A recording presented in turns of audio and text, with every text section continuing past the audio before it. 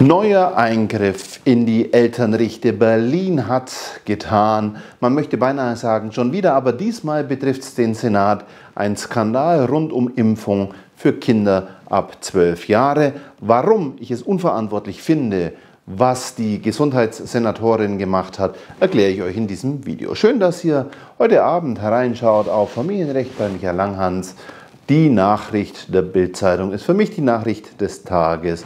Skandalös und nicht hinnehmbar.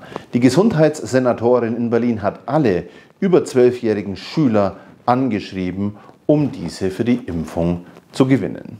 Ein neutrales Schreiben, da könnte man noch drüber nachdenken, ob sowas zulässig sein darf angesichts der Pandemie.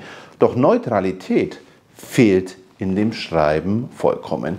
Nachteile, Impfschäden werden nicht erwähnt, auch wenn das Risiko gering ist. Wenn man Kinder und Jugendliche verantwortungsvoll an dieses Thema heranführen möchte, dann muss man sie auch wie junge Erwachsene behandeln und nicht einfach falsch und fehlinformieren, gerade nicht in diesem so sensiblen Thema. Der zweite Punkt natürlich, nur die Impfung kann retten. Die Versäumnisse in der Schule, in der Pandemie, zu wenig oder zu spät gekaufte Luftfilter, keine Konzepte für Homeschooling und Co. All das spielt natürlich keine Rolle. Jetzt müssen die Kinder ihre Großeltern, Eltern, die anderen retten. Und das ist der psychologisch schwierige Part. Kindern wird hier vorgegaukelt, dass sie die Verantwortung tragen können, wenn jemand an der Pandemie stirbt. Absolut nicht nachvollziehbar. Auch ganz klar geklärt, dass das eine Kindswohlgefährdung per se darstellt. Denn einem Kind hier schlechtes Gewissen zu machen und dann zu erreichen,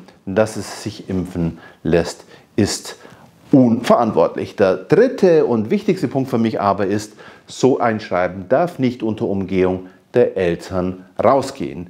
Die Eltern tragen die Sorge auch im medizinischen Bereich. Sie müssen, und das weiß die Gesundheitssenatorin, deshalb schreibt sie es ja auch, sie müssen mit zur Impfung kommen oder zumindest eine Einwilligungserklärung abgeben. Wir alle wissen, eine Spritze ist eine Körperverletzung, die kann nur gerechtfertigt sein, wenn die Einwilligung erfolgt oder wenn sonstige äh, Aspekte gegeben sind, was wir hier natürlich nicht haben. Und genau so darf man dann ein Kind nicht manipulieren an den Eltern vorbei. Die Familie ist mir heilig und das möchte ich an dieser Stelle ganz klar sagen. Dieses Video ist kein Anti-Impf-Video, es ist aber auch kein Pro-Impf-Video, es ist ein Pro-Familien-Video. Start raus aus der Familie.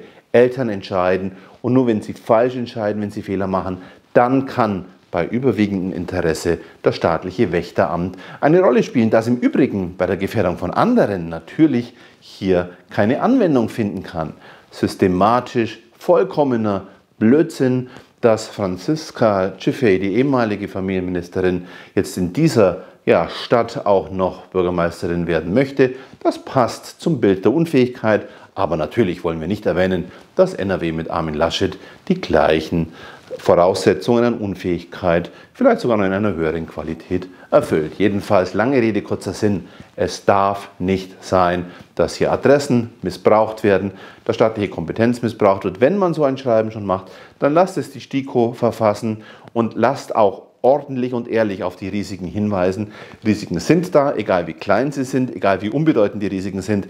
Das muss erwähnt werden, wenn man medizinisch ordentlich aufklären und Werbung machen möchte. Wir leben nämlich nicht in einer Zeit, wo die beste Werbekampagne gewinnt. Wir leben in einer Zeit, wo hoffentlich jeder am besten durch die Pandemie kommt. Wie ist eure Meinung zum Thema? Würde mich freuen, diskutiert es mit mir unten in den Kommentaren oder natürlich auf familienrecht.activinews.tv. Servus.